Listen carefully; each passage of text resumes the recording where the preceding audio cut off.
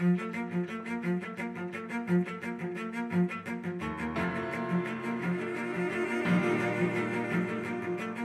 I'm Jenna. I'm Chase. I'm Michaela. I'm Abigail, and we're all seventh graders here at Hilltop Middle School. And today we're going to be heading down to the Doupe building.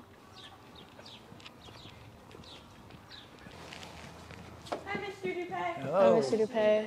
Hello. This is a cool building. What is your connection? Did you ever own it?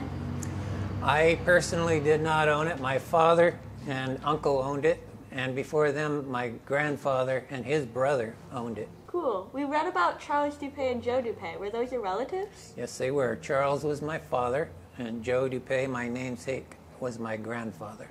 Can you tell us anything more about the history of the building? Yes, I can. Uh, it- was built in about 1880 by B.A. Seaborg. It was called the Aberdeen Packing Company. It was uh, a supply company for fishermen.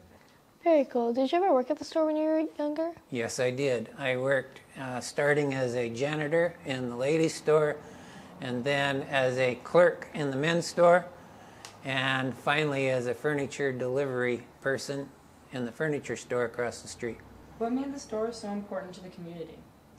It was important to the community because my parents and grandparents were invested in the people. They would go out of their way to make sure that the people got what they wanted, and they would also do something special for each of the customers to make sure that they knew that they were important, such as when a logger came in to buy a pair of boots, they would put in a pair of boot socks to go with it for free. Why did the store close?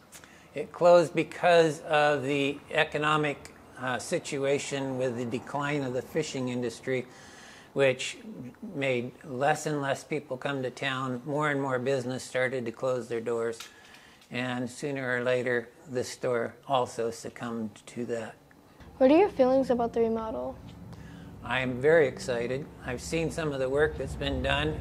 I'm impressed and looking forward to the completion in the future. Thank you so much for sharing the information with us. Uh, it was a pleasure. Thanks again. This was great. Thank you so much. You bet. You did a great job, too. Thank you.